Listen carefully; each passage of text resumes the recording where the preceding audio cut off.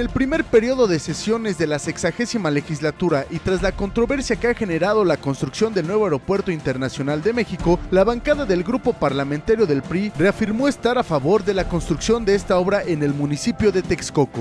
Las y los diputados del Partido Revolucionario Institucional reconocemos en el nuevo aeropuerto un motor de desarrollo nacional y el detonador del país próspero y justo que todos queremos.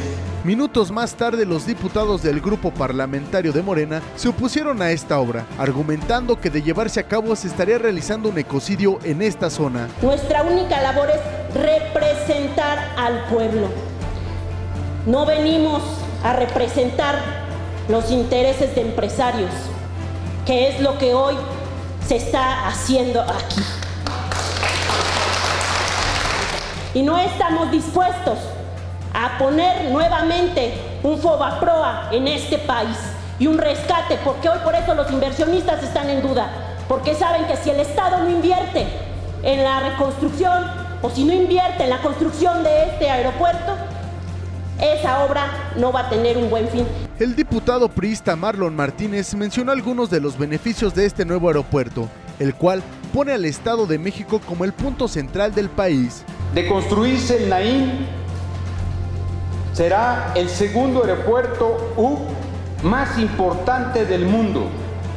Colocará al Estado de México como el corazón económico y logístico del país.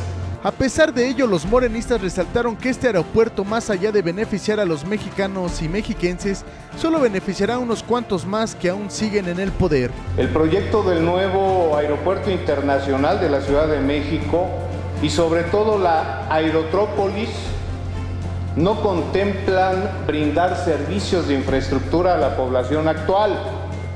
El plan maestro del nuevo aeropuerto contempla infraestructura social, pero para las nuevas viviendas, negocios y corporaciones tipo Santa Fe,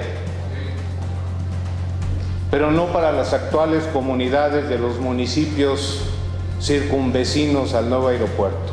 Por lo anterior, el presidente electo de la República, Andrés Manuel López Obrador, puso en marcha a partir de este jueves y hasta el domingo 28 de octubre del presente año una consulta popular en la cual la ciudadanía podrá participar en la decisión de si se llevará a cabo o no la construcción de este nuevo aeropuerto. Para TV Urbana Noticias, Oscar Gutiérrez.